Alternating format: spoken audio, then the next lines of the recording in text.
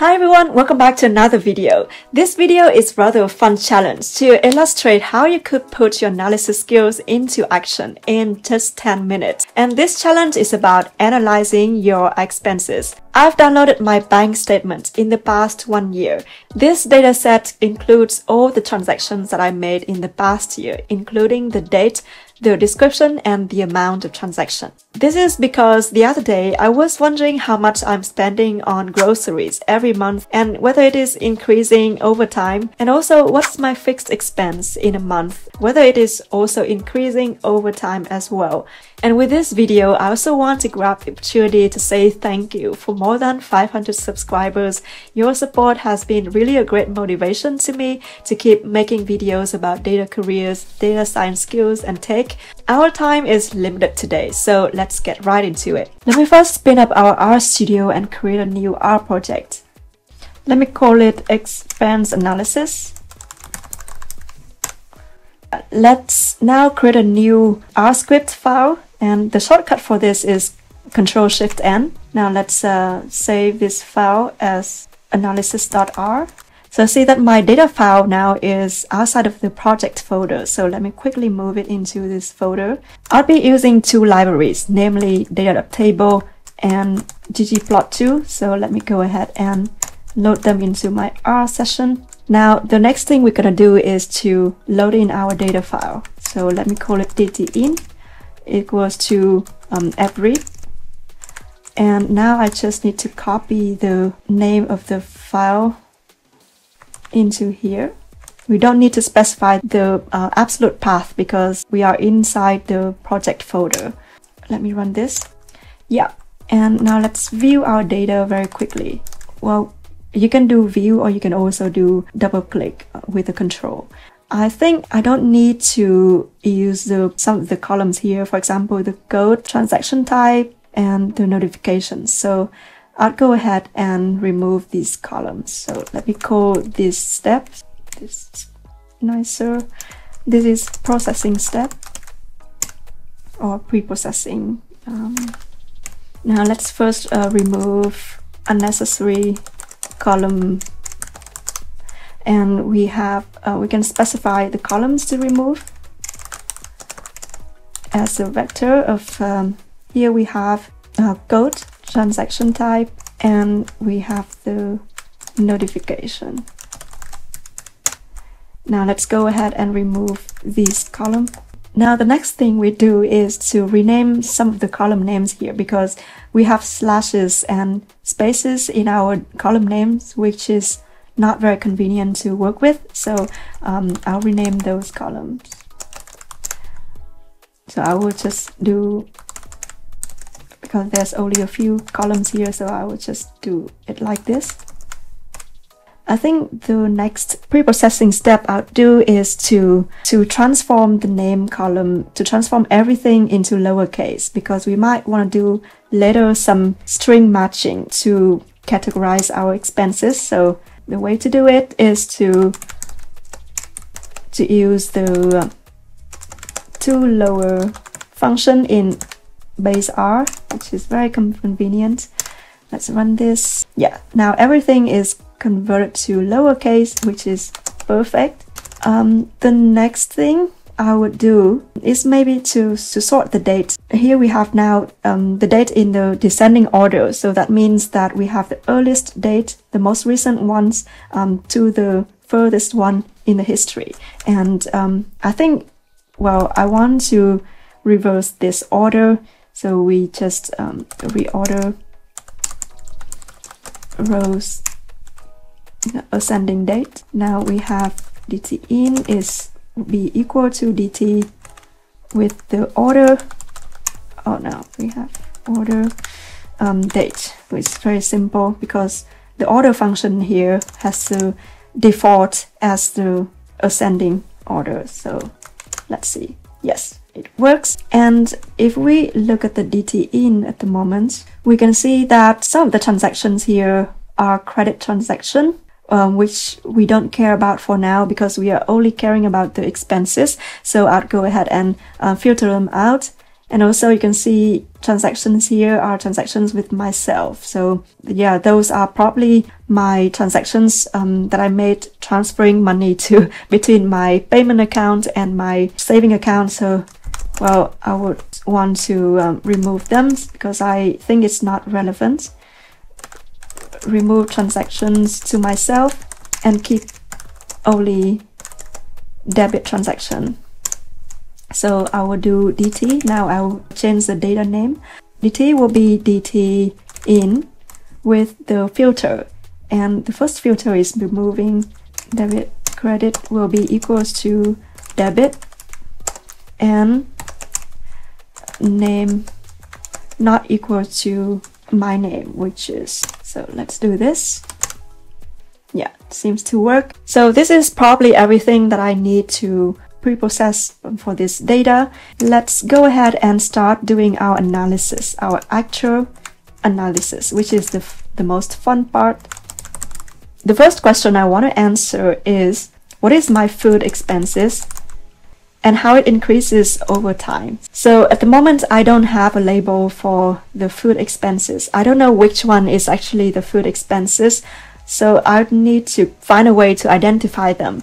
I could read all these transactions and classify them manually, but I don't think it's a smart way to do. So um, I will create a set of um, keywords for the food. These are the name of the supermarkets that I usually go to. So um, I would just grab this name and put it here. And I also go to some other stores um, to do my groceries. So here's another supermarket in the Netherlands. We also have Gall and Gall where I sometimes go to um, to buy wine and alcohol. Um, I also go to um, Vietnamese supermarket which is called Maybe.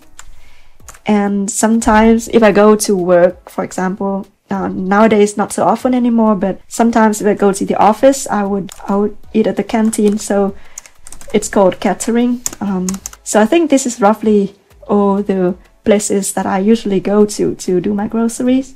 And now our job is just to create the label for those. I would do dt um, with the grab l. Mm, because grepl only works for one pattern at a time. So we need to to create the pattern for for all these keywords and we can do it by doing the paste food key with the collapse equals this. And then now we can do the matching for all these keys. Um, we will do food key pattern and for those that this returns true we will say category, which is another a new column. Category is equals to food. Yeah, now we have the food label as category. That is great. And the next step I want to do is to aggregate those grocery transactions into into month. Oh, see that the date here is not formatted as date column because it's now still character. So we need to do a little bit pre-processing here date column format so we have the date will be equals to as date which is uh, converting the string into date character date and we can spe specify the format here as um, year month date.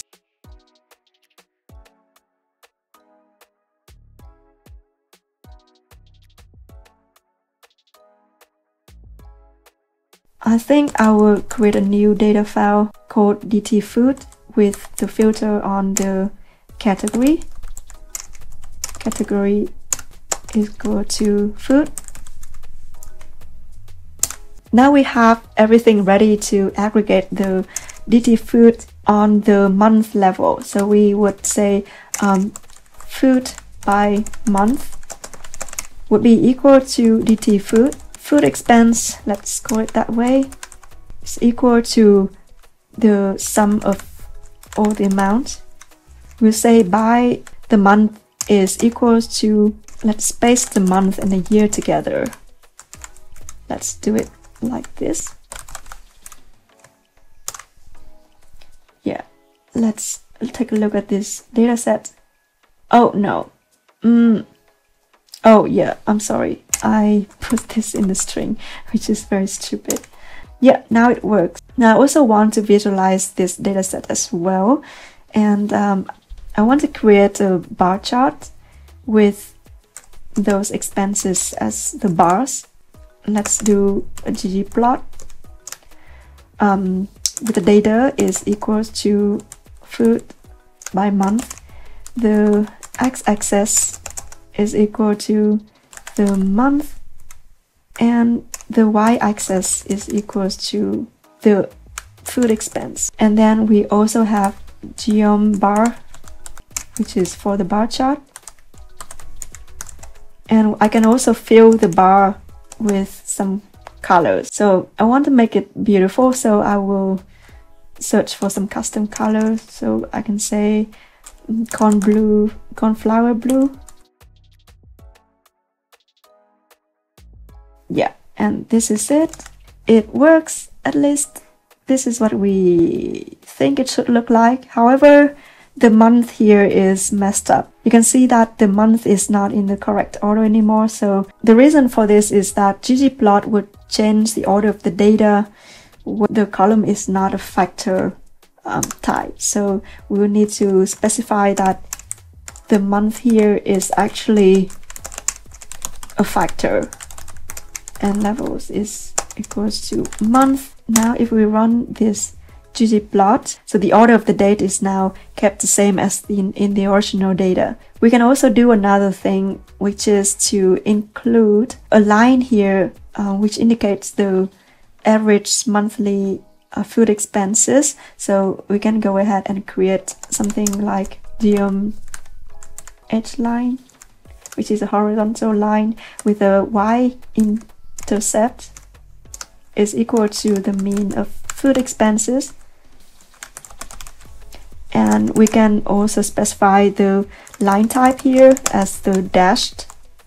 Now it works. My average food expense has probably slightly increased or actually increased a lot in the past year and on average I spend probably 275 euros every month um, which is what I expected but um, I don't like the fact that I'm spending more money on food. Now let's move on to the second question that we have which is about analyzing the fixed expense. By looking at this data set we can see that there are some expenses that are occurring every month. It's repeating. For example, this is my rent. I also have monthly subscriptions like Spotify and Netflix and stuff like that. So we need to find a way to identify those repeating expenses or the fixed expense every month. I think the easiest way to do it is to identify the duplicated rows in the data in terms of name and amount. So if we see that a transaction is having the same name and same amount every month, that means that this is a fixed expense. We will say the DT with duplicated name and amount. And we will say category then would be equals to, let's say, uh, fixed. Ah, you see that this is not working. I think this only works for the following rows. So yeah, because the duplicated function here only identifies the second occurrence onwards. Another way I think we can do is to count the number of occurrence of each row in terms of name and amount. So that is probably a better way.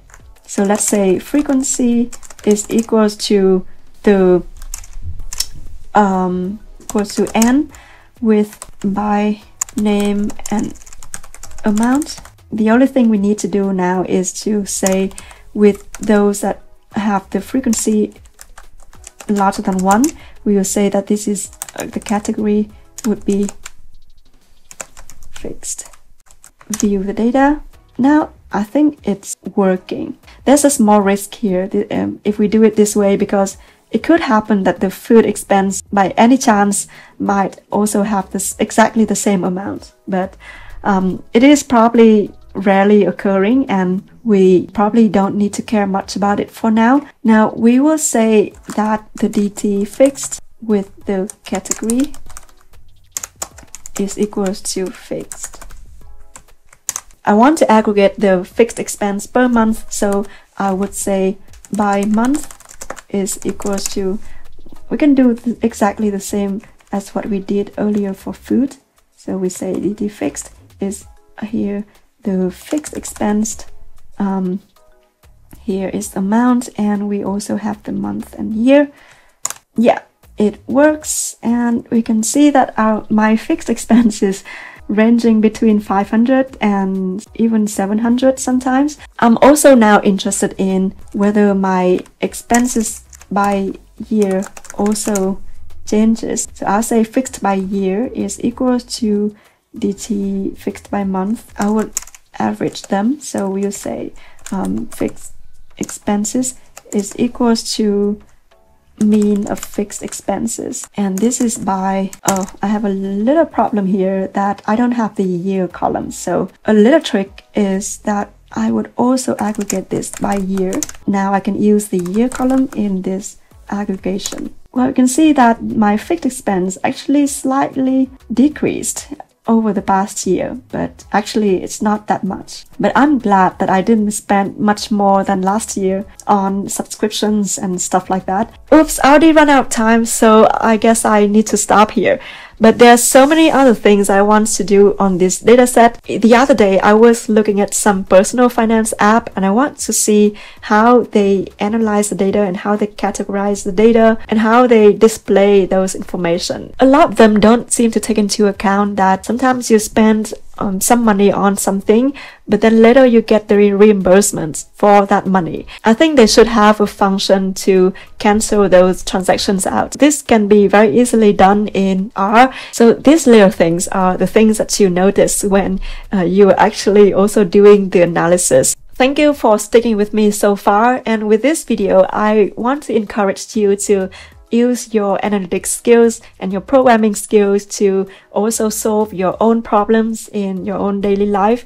And these skills that you have can be invaluable and you never know what you're gonna get out of just 10 minutes. And if you think that you don't have time or this is too complicated, this is too difficult and you don't know where to start, I would recommend you reading this book Shut Your Monkey. And this is quite a short and fun read. Uh, it is all about how the monkey in your brain or your inner critic can actually prevent you from getting things done and actually make a start on something new. So highly, highly recommend this. Well, it's a little bit of rambling, but I hope you enjoyed this video and I'll see you next time. Bye bye!